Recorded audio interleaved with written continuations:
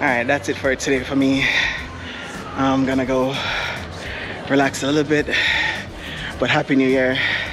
This was the workout i needed uh, to keep myself operationally conditioned for pickup games. Uh, they're fun and they're competitive at the same time. So yeah. So here so this is andrew lobban tuning out for now. Happy new year again support the channel like share and subscribe if you're new to the channel.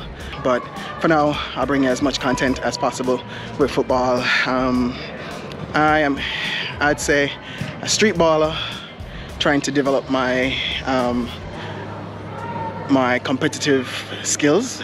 So we're going from there you know learning my kicks learning the basics making sure i solidify the basic skills and getting to the intermediate uh, stops and turns and dribbles and conditioning.